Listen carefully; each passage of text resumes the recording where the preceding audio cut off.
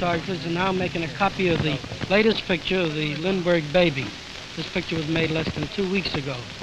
Each one of these still photographers is making a copy on his own camera. And here are motion pictures of the baby taken by members of the family and given out by Colonel Lindbergh to aid the public in recognizing him. They are the only films ever made of the child, and only the gravity of the emergency led the colonel to depart from his well-known aversion to publicity in everything concerning his family and personal matters. When the baby was stolen, he was under the doctor's care, and Mrs. Lindbergh's chief fear was that his health might be neglected.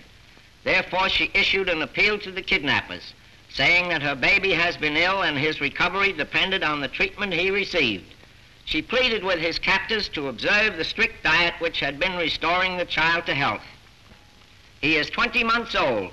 When stolen, he was dressed in a white sleeping suit. His hair is fair and curly. His complexion is light.